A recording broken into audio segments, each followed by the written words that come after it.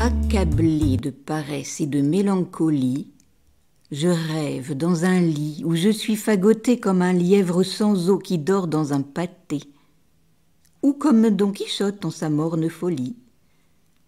Là, sans me soucier des guerres d'Italie, du comte palatin, ni de la royauté, je consacre un bel hymne à cette oisiveté, où mon âme en langueur est comme ensevelie. Je trouve ce plaisir si doux et si charmant que je crois que les biens me viendront en dormant, puisque j'en vois déjà s'en enfler ma bedaine. Je hais tant le travail que les yeux entr'ouverts, une main hors des draps, cher Baudouin, à peine ai-je pu me résoudre à t'écrire ces vers.